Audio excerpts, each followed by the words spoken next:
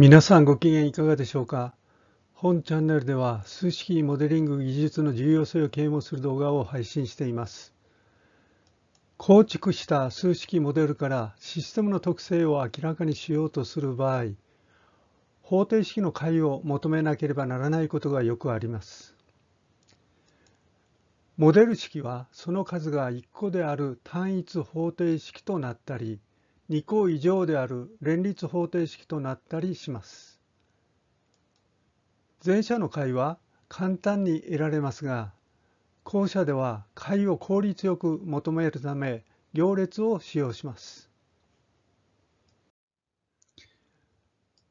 このため行列と聞いて尻込みをしてしまう人が多いように思います。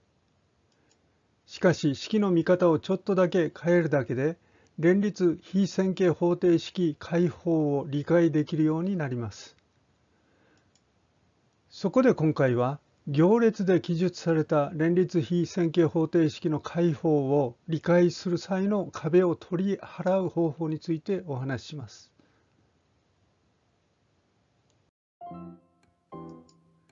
今、未知数が x である1個の線形方程式すなわち単一線形方程式を考えましょう。この場合、b を a で割ることで x を簡単に求めることができます。次に、未知数が x1、x2 である2個の線形方程式、すなわち二元連立線形方程式を考えましょう。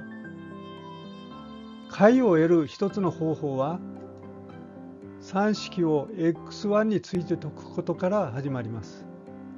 これを4式の x1 へ代入し、未知数が x2 だけの式にします。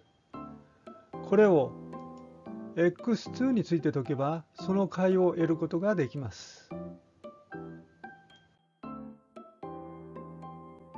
さらにこれを5式へ代入して x1 のみの式を作り、この式を順次整理します。これにより x1 の解を得ます。この解法は簡単ですが、式の数が多くなると操作が困難になります。また、コンピュータを使う数値計算には適していません。このため、連立方程式の解は通常行列操作により求めます。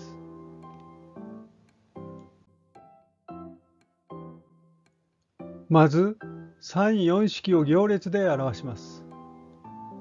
ここでは理解しやすいように一時的に行列を両括弧ベクトルを片括弧で表しています。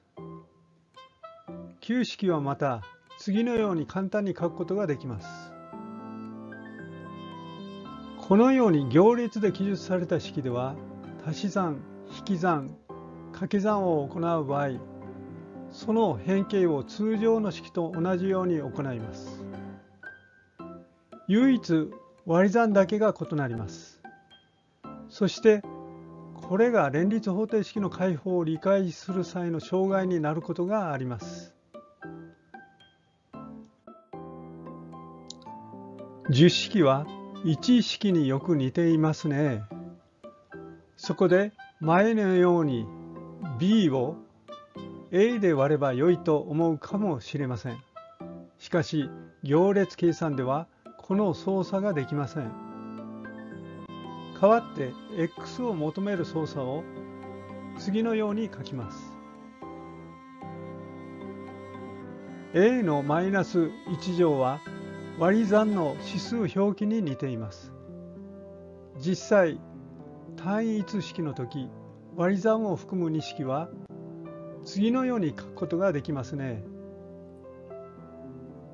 11式中の a-1 乗は割り算ではありません。逆行列を表します。実際の行列計算ではまず A の逆行列を計算し次にこの成分をベクトル B の成分にかけて解を求めます。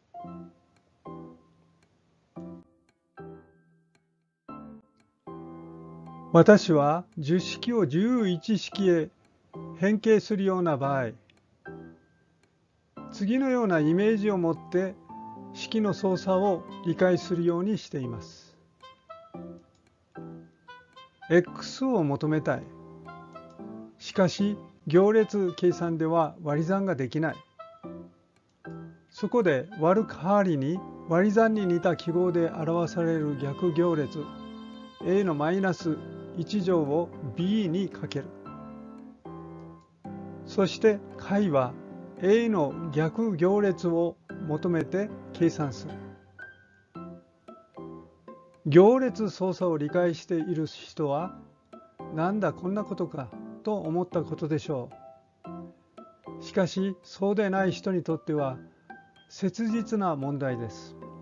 このような人は上述のイメージを持ってみてください。これにより連立方程式の解放を理解しやすくなるでしょ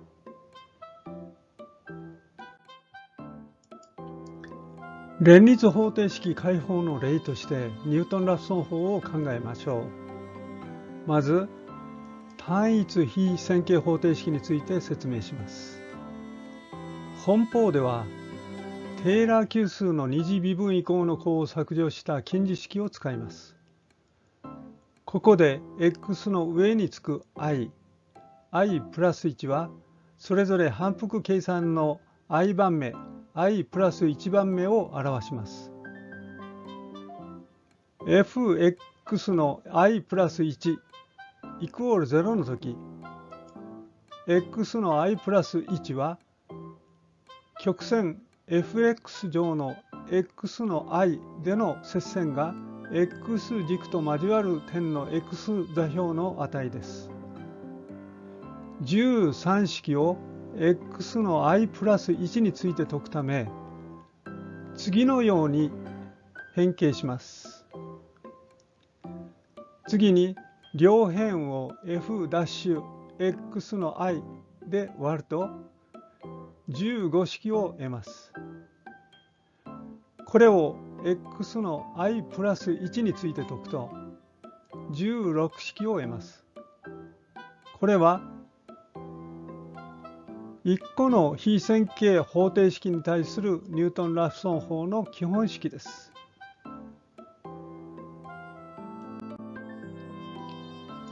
同様に連立非線形方程式に対するニュートン・ラフソン法について考えましょう。未知数が x1 から xn までの値であるとき関数 f1 に対するテーラー級数の二次微分以降の項を削除した近似式は17式で与えられます。これを簡単に18式で表します。ここで x は未知数をまとめて表すベクトルです。同様に関数 f2 から fn までに対するテーラー級数の近似式は次のように与えられます。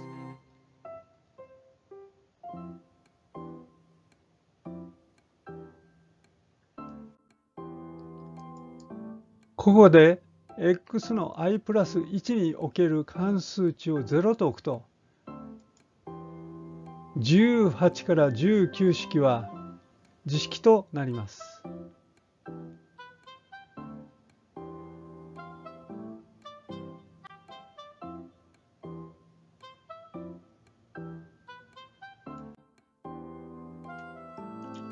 これらを行列で表すと24式となります。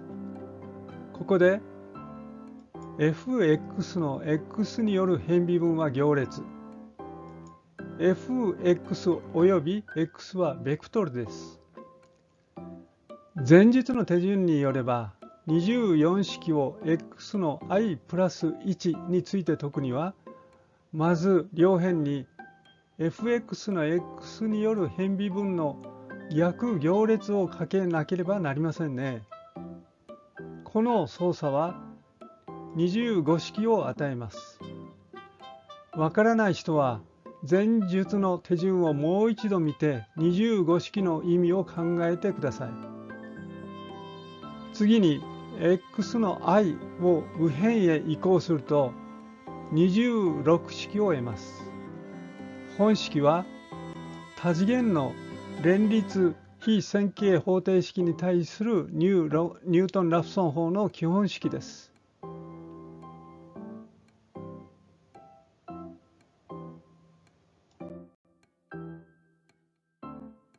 未知数が n 個の連立方程式の成分で表すならば26式は27式となります。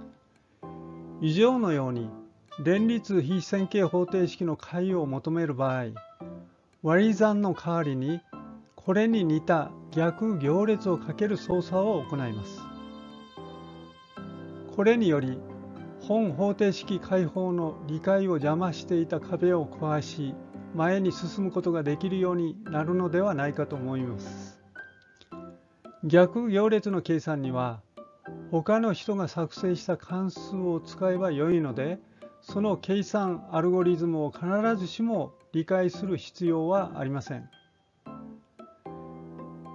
ここまでの話で連立非線形方程式の解を求める準備ができました。次回は本方程式に対するニュートン・ラプソン法の話をします。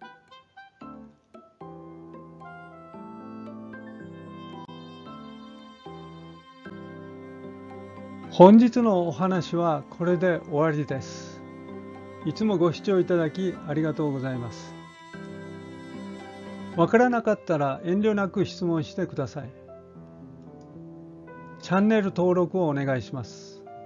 また多くの人に視聴していただくためできればいいねボタンも押してください。それでは次回の動画まで。ごきげんよう。